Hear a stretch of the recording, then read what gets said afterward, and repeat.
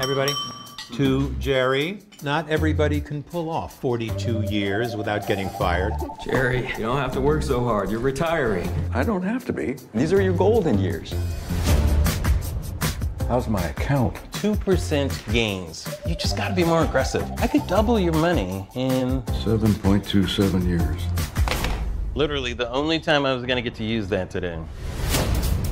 Jerry, you're going to have to tell me what's going on. I was always good with math, codes, puzzles, you name it, but I just feel like I never got to be a part of the world. I found this flaw. There's a loophole that the lottery didn't see. It's right here in the math. I don't know what this says. It looks like the numbers a crazy man drew in a cell well. I cannot believe you are my accountant. I'm playing the lottery, and I won $15,000. Why didn't you just tell me? We barely have enough money to retire on. This is no time to risk it. Yes, it is. What? Can I help you? We'd like to buy 8,000 windfall tickets. I'm gonna help you first.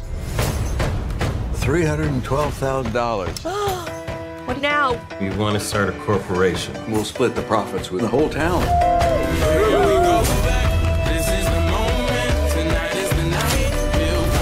You said the more we bet, the better the odds. Let's do it. There's another group. These kids figured it out. The payout should have been bigger. We're really hurting each other by playing at the same time. I just need you out of the game. We're not done. Do you know what the dark web is, Jerry? Because it's gonna be the only place to buy your life back when I'm done selling it to countries that you can't even pronounce. And I'm gonna do it to everyone in your group. The lottery suspended our license. We're betting half a million. Go big or go home.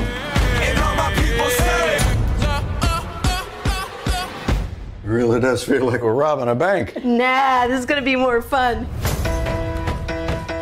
We are betting $40,000 on windfall tickets. Are you guys drug dealers? We're professional lottery players. That isn't a thing. It is now.